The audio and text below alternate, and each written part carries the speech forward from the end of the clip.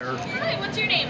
My name is Max. Hi, Max. It's nice to see you. How's your day going so far? My day is doing okay. Good. So, um, I want to talk to you about the movie that you're in, the upcoming movie. So, I really like that one of your superpowers were glowing.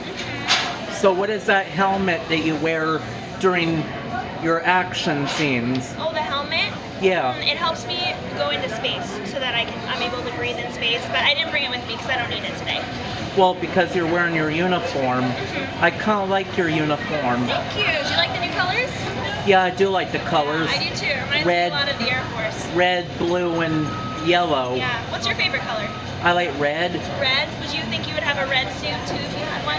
Well, not today, but I will next time for a picture. Next time. Sounds good. I'll be counting on that red suit. So I hope to get to see the movie that you're in and hope to see it. That would be wonderful. Yeah, I'm all charged up and ready to go. You'll have to come back and see me afterwards too. Maybe by then I'll have my plane. It'll be lots of fun.